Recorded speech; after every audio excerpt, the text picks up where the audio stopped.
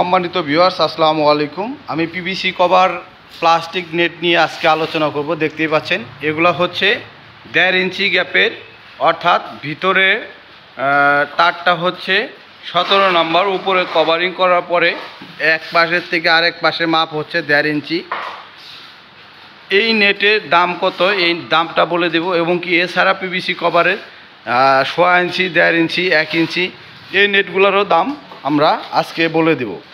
অনেকে দাম জিজ্ঞেস করেন এবং কি দাম দাম নিয়ে কনফিউশনের মধ্যে পড়ে যান এবং কি ফোন দিতে অনীহা প্রকাশ করেন। তাদের জন্য আজকে সুখবর এটাই যে, আমরা দেড় ইঞ্চি গ্যাপের কভারিং করার পরে যে বারো নাম্বার তারটা রয়েছে, তার আজকে মূল্য বলে দিচ্ছি।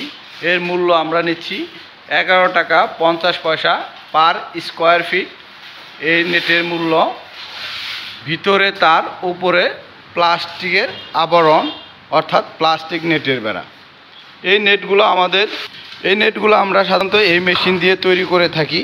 দেখতে পাচ্ছেন, দেখেন, এই যে হচ্ছে তার, এক মেশিনে দুই কোয়ালিটির তার তৈরি হয়, GI net plus PVC plastic covering net. এটা হচ্ছে এক ইঞ্চি গ্যাপের নেট, অর্থাৎ কভারিং করার পরে বারোর মতো মোটা, দেখেন। এই নেটটার মূল্য নিচ্ছি আমরা ষোলো টাকা পার স্কোয়ার ফিটে নেট। অর্থাৎ প্লাস্টিক কভারিং করার পরে বারোর মতো মোটা। এটা হচ্ছে সোয়া ইঞ্চি গ্যাপের নেট, প্লাস্টিক কভারিং করার পরে চোদ্দ। এটার মূল্য হচ্ছে নয় টাকা পঞ্চাশ পয়সা পার স্কোয়ার ফিট।